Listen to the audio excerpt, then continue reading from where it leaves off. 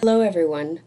Here's a quick walkthrough of how to enter your Girl Scouts net card or paper order card orders on their M2 site. First go to the login page, log in, and this parent has two Girl Scouts in, so we'll look at one of their sites. And if you scroll down on the page just a little, under the campaign you're going to see Manage Paper Orders. Click on that. And here you'll have a whole list of every item that's on that net order card here on the site itself. So all you need to do is to go in, complete the quantities,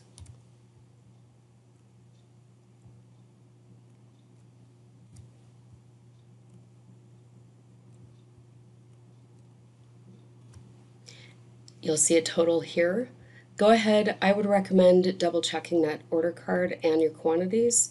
So scroll through one more time and do that. Just double check all the numbers that you've entered and then hit update and it submits the order. Voila, you're done.